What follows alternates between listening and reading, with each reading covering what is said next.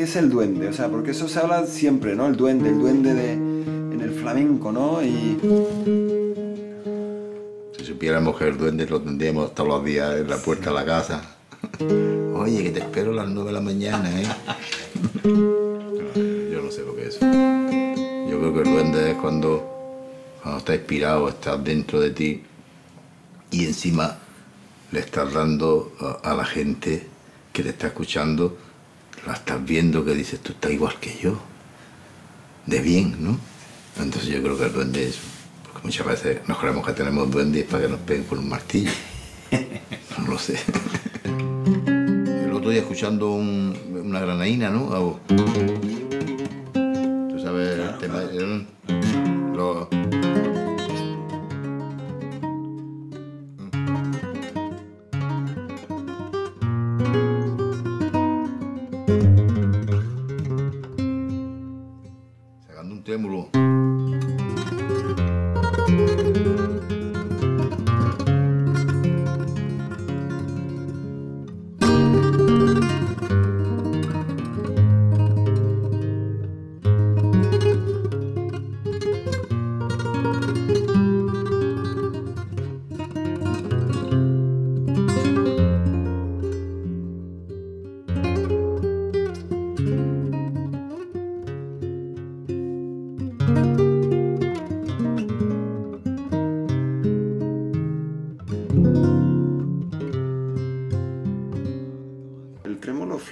también a mí me apasiona, porque tenemos un trémolo diferente. El, sí, el, el guitarrista clásico. El de tres. El de tres. Claro. Y el de cuatro me, me Este fascina cinco, siempre. este de cinco. Sí. Fíjate, a ver cómo lo hace.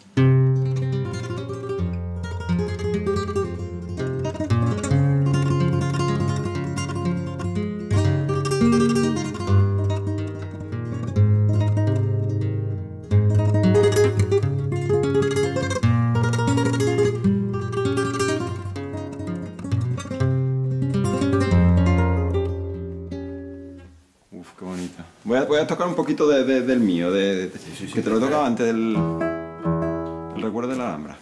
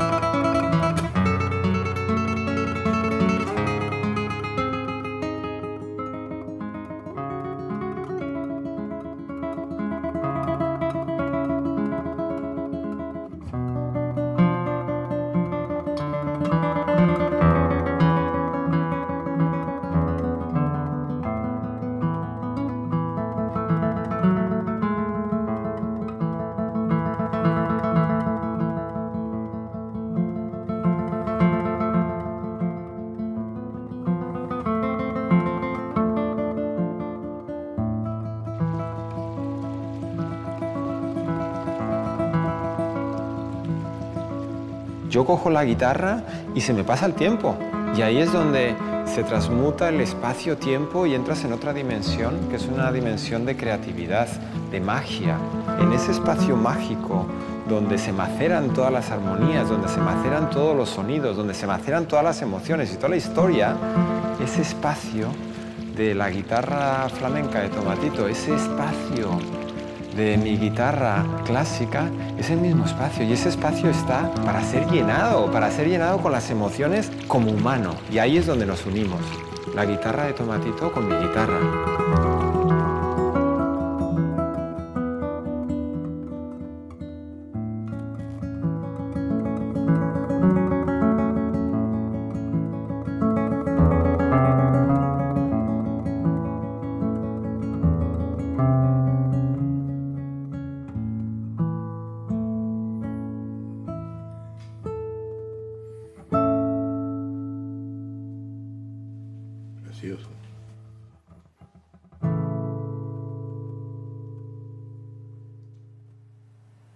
La vida sin música eh, sería, yo que sé, ruido y. ¡Guau! ¡Pum! ¡Pa! ¡Pum! ¡Pa! Sería caos. Qué, miedo. Mejor melodía y, y armonía. Porque, porque, por ejemplo, un acorde, la armonía, es una serie de notas que se llevan bien, por eso son bonitas. Correcto. El acorde. Hay que estar acorde todo el mundo. Así es. Así es. Bueno. Qué bonito. El obiblio. ¿Del principio quieres? Sí, yo hago la, yo hago la, empiezo con el acompañamiento. No, no, no, haz lo tuyo porque haz lo tuyo y cuando lo tengas bien, sí. Eh, bien. Y luego va al acompañamiento y lo que eh, tengamos que rectificar, lo vale, Perfecto. ¿Vale? Perfecto, pues,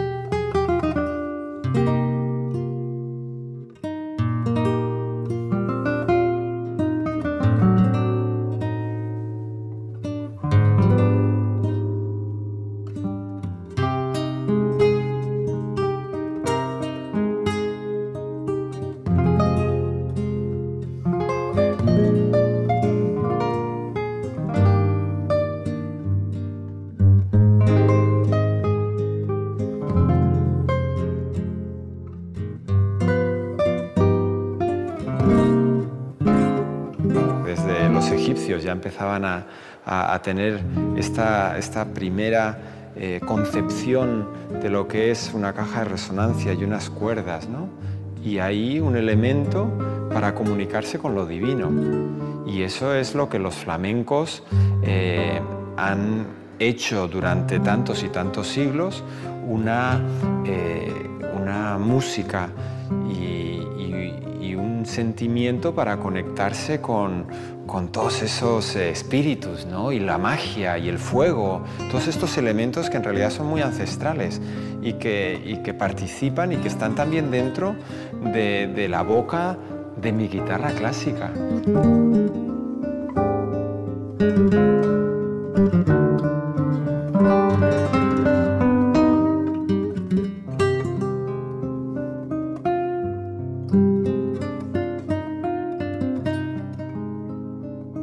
Dos guitarras en, sus mástiles se entrelazan, ¿no? Y, y cómo a través de la música celebramos todo eso que no podemos tocar, que no podemos ver, pero que al final es lo más poderoso.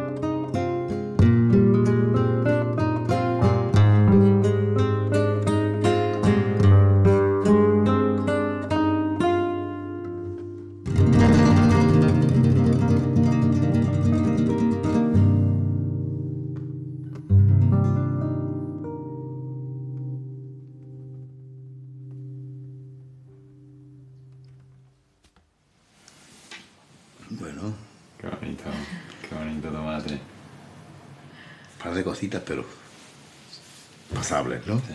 Somos personas. Sí, sí, sí, somos personas, correcto. ¿Verdad?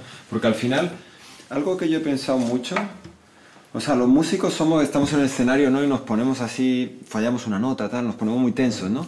Y al final, no sé, yo he aprendido que lo más bonito es como entregarse al público en cuerpo y alma, incluso en el error, o sea, dárselo, ¿no? Decirle, soy humano. Hace 200 notas bien y una medio bien Así es. y se, Claro. se pierde tono. Correcto. Se pasa. la- la- la- todas las notas, las otras las hemos pasado bien, pues seguimos pasando. ¿Verdad? Qué bonito, qué bonito. Es que la guitarra es de la gente, es un instrumento que emociona. La guitarra, o sea, es el instrumento más cercano al corazón de las personas, para mí, ¿no? Porque hay algo muy, muy, no sé, muy mágico, ¿no? Siempre está- siempre está- Siempre está aquí, siempre ¿no? está ahí. Al lado de nuestro corazón. Todo el día con ella, Así si es. puedes. Así es. Y, tienes que, y si no estás con ella, tienes que pensar, pensar en ella. Mm. Como no estés con ella, ya te deja. Sí, es verdad. Dice, sí, ahí te quedas. Ahí te queda. Y ya, finito. Sí, es verdad. Entonces, claro, pero bueno, Podemos decir que la guitarra es celosa, ¿verdad? Tienes, tienes, tienes que cuidarla cada día un poquito. más que celosa es acaparadora.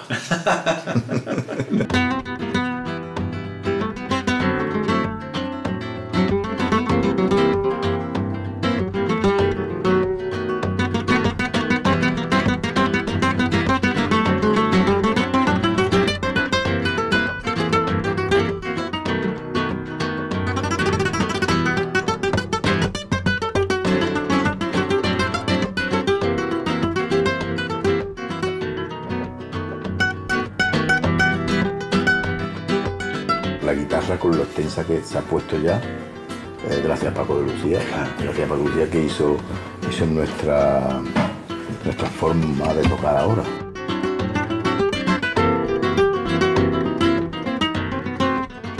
Es cuando nos dimos cuenta que la guitarra es mucho más extensa que, que el flamenco. Para cantar es otra cosa, tocar para cantar es rajear bien, tener conocimiento de dónde están los cantes, dónde tienes que pararte, dónde el acorde que tienes que hacer, esperar al cantador y eso. Pero luego ya cuando nos hacemos concertistas, ya queremos a ver cómo esta obra, como esto. Entonces es bonito eh, saber música porque luego va ahí y hay obras preciosas, ¿no? Descubres un- acorde bonito, una melodía. Y "Oye, qué melodía más bonita, ¿no? ¿Cómo es? ¿Cómo es? Pa, pa", Y ya está.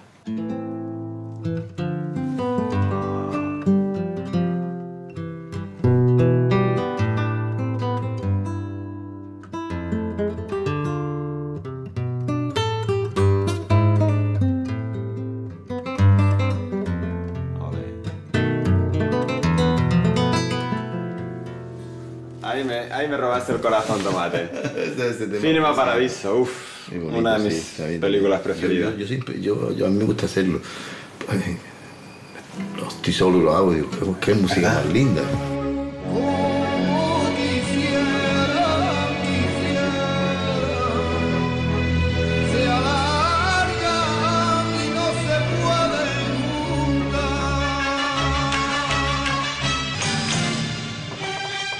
Cuando tú piensas en, esa, en esa época, ¿no? La que hablábamos de Camarón de Paco, ¿qué te viene a la cabeza? O sea, cuando piensas en Camarón, ¿qué te viene...? Como la he vivido tan cerca, me di cuenta ahora la importancia que ha tenido esa época. Cuando no está, cuando no tienes las cosas, es cuando te das cuenta que las has tenido. Pero bueno, yo estoy contento de haberlo pasado y triste por lo, porque, porque se van, ¿no? Y, y es una época muy bonita de festivales flamencos, de artistas. Yo no tengo un sistema estricto para, para estudiar. Yo me siento aquí en este sofá, eh, toco lo que me sale, lo que me apetece tocar. No tengo un sistema de, de hacer escalas ni, ni, de estudios para dedos, ¿no? Yo toco lo que sale y, y si no sale nada, pues no toco.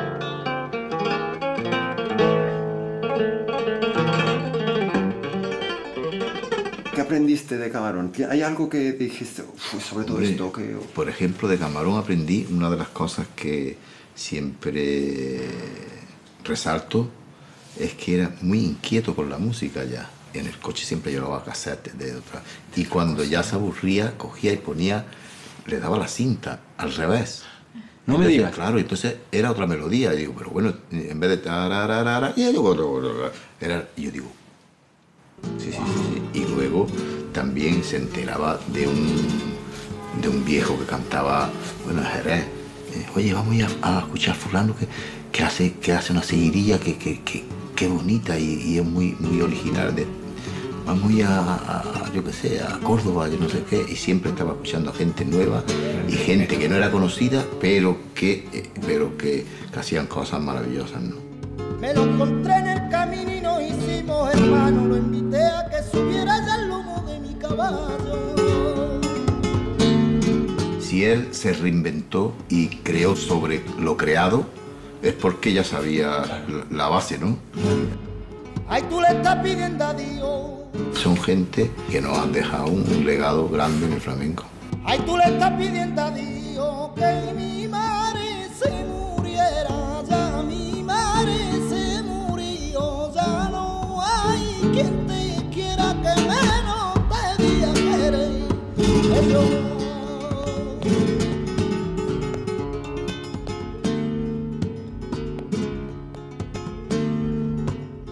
Para las nuevas generaciones, eh, tú perteneces, como hemos dicho, a, a, esa historia del flamenco viva ahora. Por, por edad, y, por edad, por viejo. No, y, y, talento y lo que has, lo que has seguido aportando, ¿no? O sea, de, lo, de donde ellos, eh, de donde ellos y donde tú has, has sido una parte básica también de sus vidas y cómo ahora está siendo un puente muy bonito de, de, de seguir la tradición y llevarlo a otros sitios, ¿no? De repente haces esa, boom, esa transición a, a, a tocarte aquí por ejemplo, ese tema que es de. Django Reina. Claro.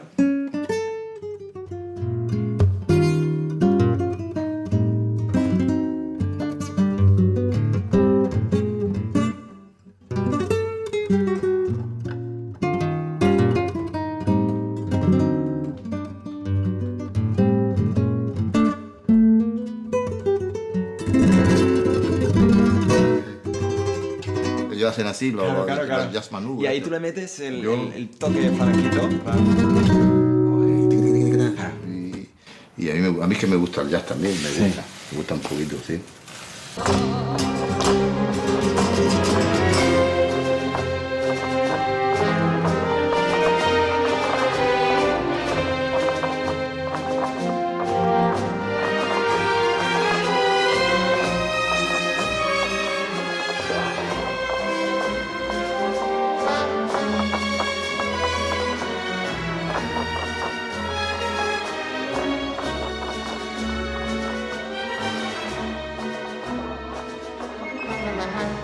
Es infinita. Es infinita. Es infinita.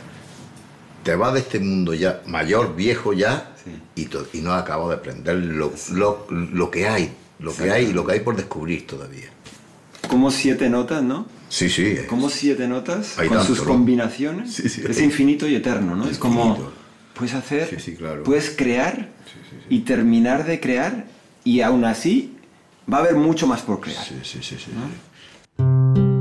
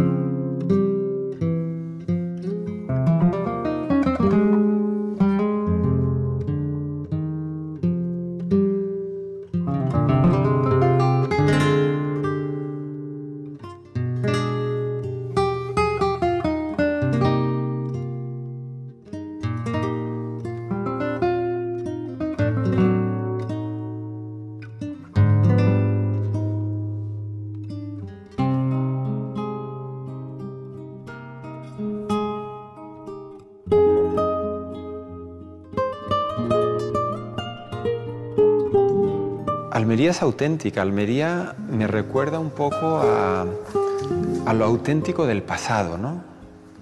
a lo arraigado, a, las personas, a esa mirada honesta, auténtica, donde cualquier artificio sobra. Y eso es lo que he visto también con, con eh, Tomate, ¿no? Nos ha abierto su casa y enseguida ha cogido la guitarra. Venga, vamos allá. El propósito de venir yo aquí al final era unir estas dos guitarras, entrelazarlas y honrar y celebrar la guitarra. El hubiera salido bien,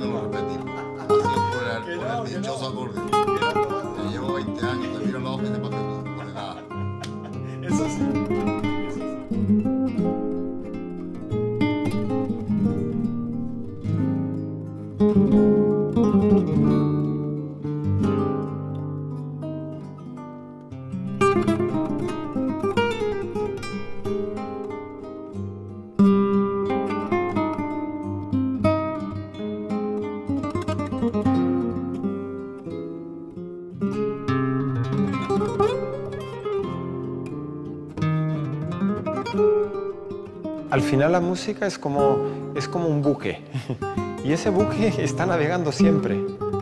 Y entonces como músicos formamos parte de ese, de ese, de ese buque y nos lleva, queramos o no queramos, a explorar, a descubrir.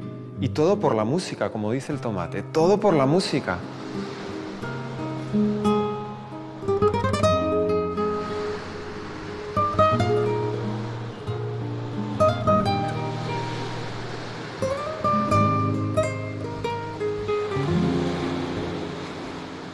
Porque la música es ese eterno e infinito horizonte por el que te mueves cuando navegas.